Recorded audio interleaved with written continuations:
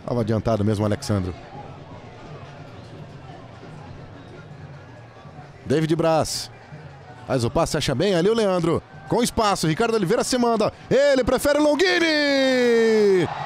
Gol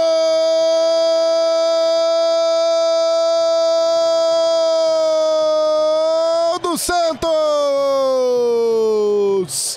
Rafael Longini, 17 a camisa dele. O bote errado do Fernando Bob. O Leandro tocou para o Longini e falou: faz Longini. De primeira ele fez. Essa nem o Marcelo Lomba conseguiu defender. E olha que ele defendeu demais hoje.